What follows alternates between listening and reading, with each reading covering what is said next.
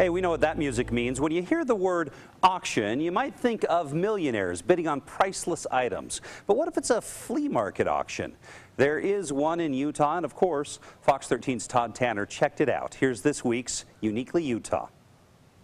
In Salt Lake City, just west of I-15 at 13th South, is the Salt Lake Vintage Flea Market. Now it's open every Saturday and Sunday, pretty much all day long, but once a month on a Friday, they have a vintage flea market auction. I have no idea what that is, but I'm about to find out. And so we do lots of reuniting with people and their interests around here. Emmy Malutis started the indoor Salt Lake Vintage Flea Market about a year ago.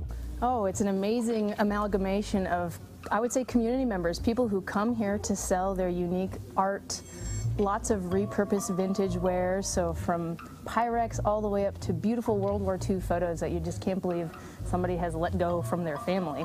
What's the weirdest piece that you've ever seen come through your walls here? Oh my gosh, a taxidermied flounder tail mounted horizontally. Such treasures can usually only be had when the market is open on Saturdays and Sundays, but every first Friday night of the month, you can bid for, uh, well, stuff. $5 on this knife lot, able to bid 5 looking for $5 on the knife lot, looking for 20 sold, 1750 bidder number 20. It's never the same thing twice. We start nice and low so everybody can jump in, and we have a live auctioneer. $5 on the immigration game, able to bid $5. Some stuff sells for $2, some sells for 200 on up, so you never know.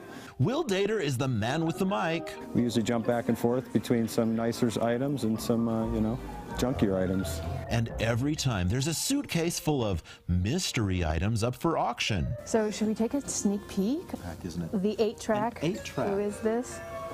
Who's Redbone. play that? Oh, we sell eight track players. Don't you worry. Sold for about 20 bucks.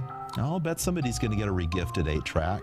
And it's just so cool to see what people bring in every week and see the stuff go out the door with people, other people, you know, customers with smiles on their faces. In Salt Lake City, Todd Tanner, Fox 13 News, Utah.